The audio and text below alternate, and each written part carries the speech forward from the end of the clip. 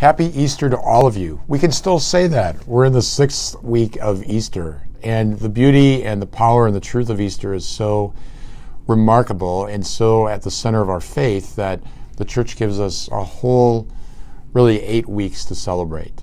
So, in the sixth week of Easter, we're moving towards the Feast of the Ascension and then Pentecost, which ends the Easter season. So, I just want to reflect this week on what are the implications of the resurrection? Why is Easter the cornerstone of our faith? And what does it matter in my life?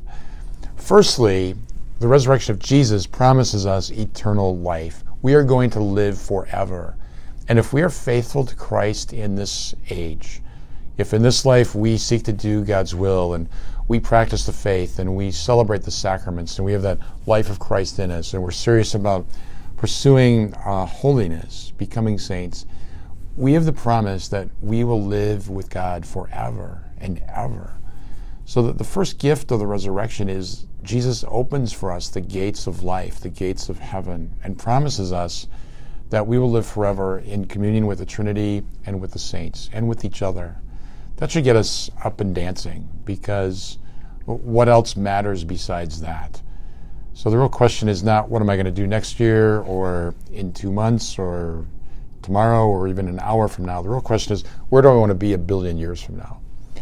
And of course, we want to be with God. So, resurrection is important. It's at the center. St. Paul says if Christ is not raised from the dead, we are still lost in death and trapped in our sins.